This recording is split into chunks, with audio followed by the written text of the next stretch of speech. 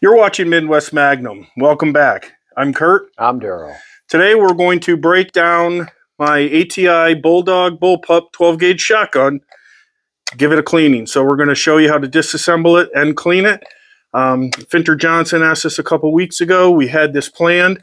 Sorry it's taken a little while, but today's video, Finter will show you exactly how to do that.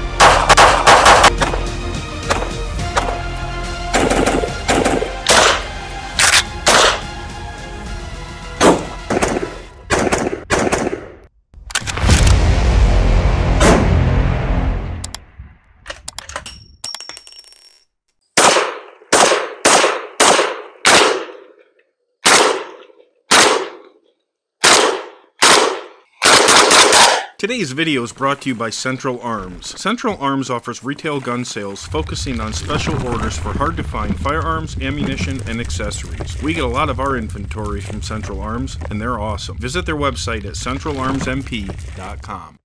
Step one, as always, make sure your weapon is clear.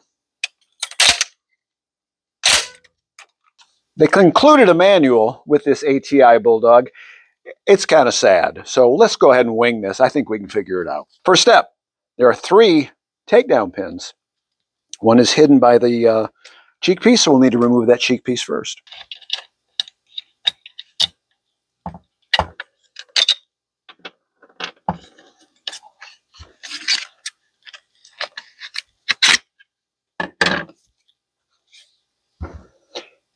These are your three takedown pins. These are set up similar to an AR-15 in that there's going to be a detent, so don't try to drive these all the way through. You'll just end up breaking things.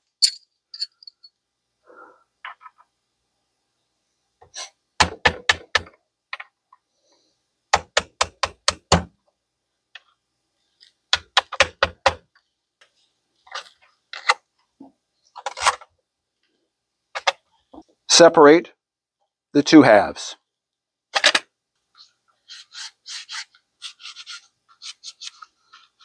Surprisingly enough, for the amount of shooting we have done with this gun, and we have done a lot, that fire control group looks incredibly clean. Next step, remove the barrel shroud.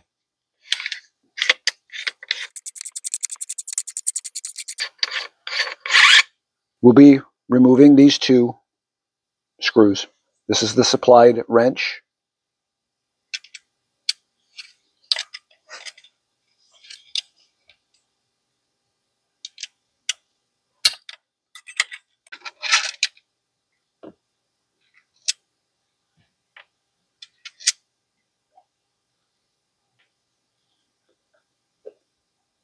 Once these screws are removed, the shroud is off, you can simply remove, slide it away.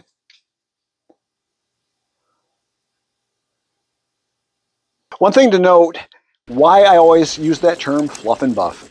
When we first got this gun, we disassembled everything. And I did find that right here and here were loose.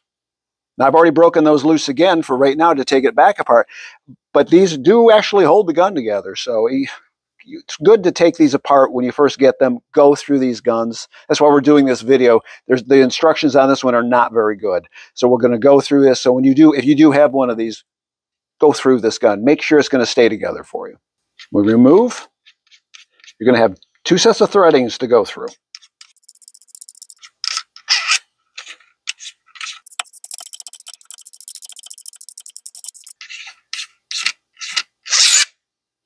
You'll note there's a rubber O-ring. This goes back towards the gun, not this side. The O-ring side goes back towards the piston. Next up, slide off your gas piston. These are your gas ports. You can see, even though it's been cleaned multiple times, these do get dirty again. Next step will be to remove your barrel nut. That's what this spanner wrench will be for. I've broken it loose, and now we can remove it. Now, slide your barrel assembly away from your upper receiver.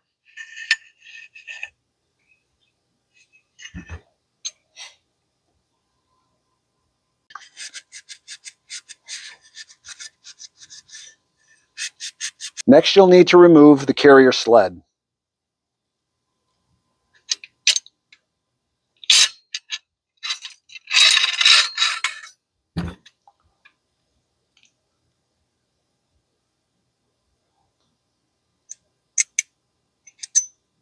There, you can remove your bolt and clean it.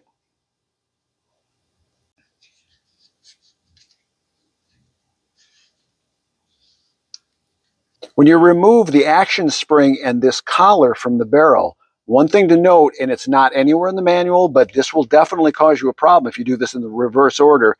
This spring is directional. This will go into this lip here. It fits correctly. If you were to put it in backwards, it's got plenty of room to slop around. This is, can only go back in one way. This is actually a very simple setup. This is very going to be very simple to maintain. It's just, there's not a lot of information in that manual. Once you've done this a time or two, this will be no, no problem for you whatsoever. This is actually a very simple, well-made gun. In case anyone's wondering what this screw is for, this is what catches the charging handle. When you put it all back together, the charging handle will be setting right here.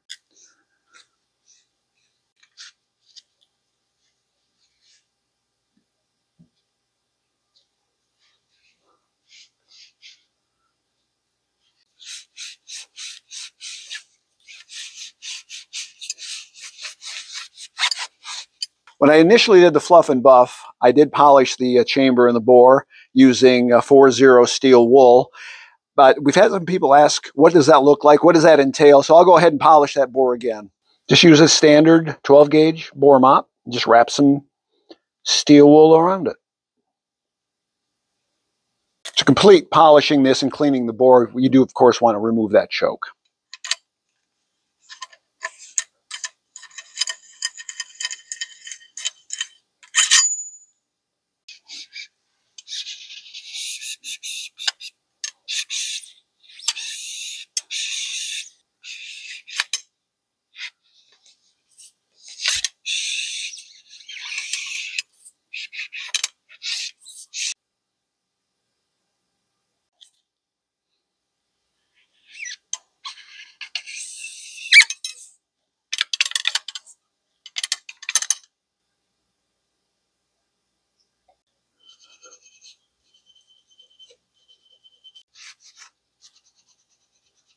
Little bit of oil on these two threaded sections, but you want to make certain as you put everything together, this gas piston system, you want no oil or grease present.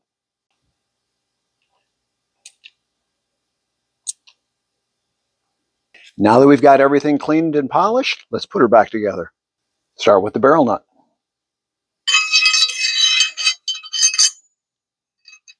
Next,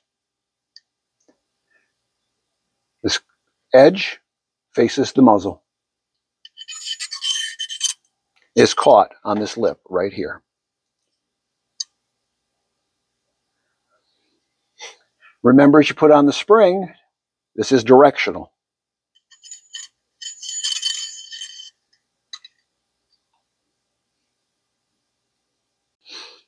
Take your bolt.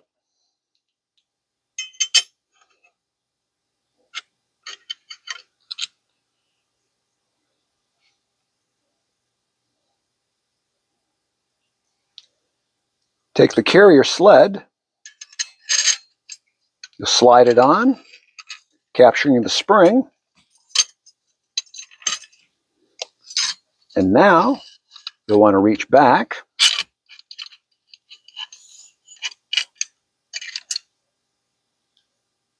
Our next step, reinstall the barrel assembly back into the receiver.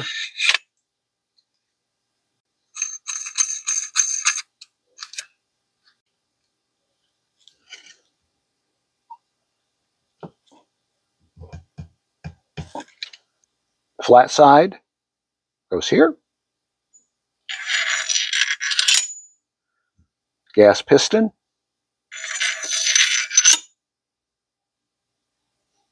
Final step, put on the nut. Remember, the O-ring faces the gas piston.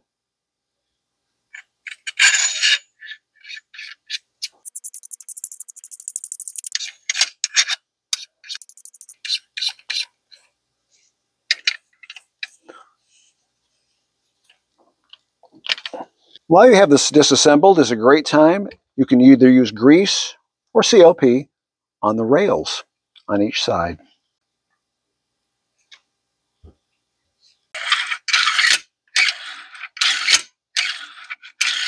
Clean up any excess and you're ready to finalize your assembly.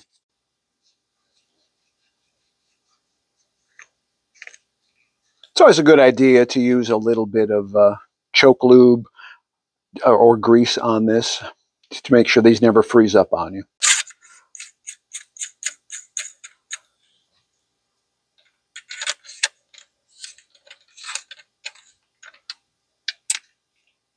At this point, you're ready to put your fore end back on.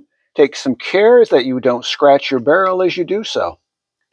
There is a channel that you'll line up with that nut for the charging handle and the channels for the carrier sled.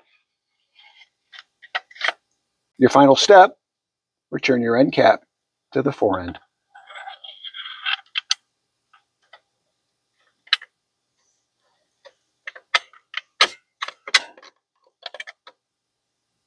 Return the two screws.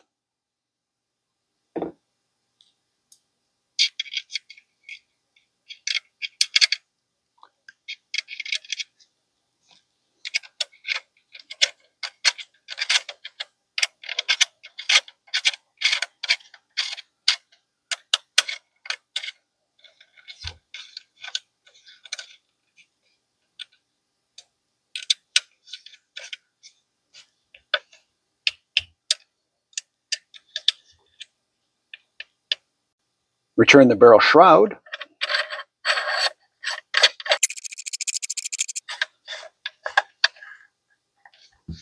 Return your lower.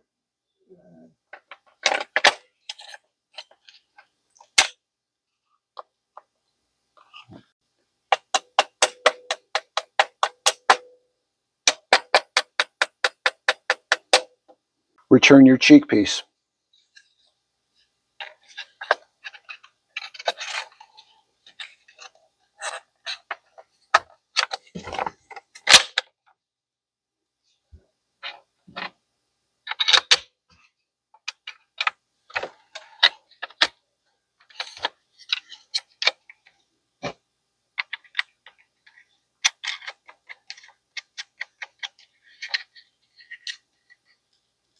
Now you're ready to test function. So as you can see, the ATI Bulldog is pretty easy to disassemble and clean. Um, Daryl did another fantastic job, and we've been cleaning it, so there wasn't too much to clean, but it's about as clean as you're going to get it right now. You won't find a lot of real, you know, intricate information in that uh, owner's manual. There's no torque specs. You're going to kind of do this by feel. But if you've got one of these things, you know, do take it apart, do check it, because like I said, the first time we we had disassembled this, it everything was loose. So it's not hard to work on. I didn't even make a mess on my white shirt, and this is ready for the range. The more ta- the more you take care of your guns, the longer they'll last, and the better they'll perform. Thanks for watching our video. Make sure to hit the like button. Make sure to hit the alert button. And if you haven't subscribed already, we'd really appreciate it. Yeah, what's your deal, man?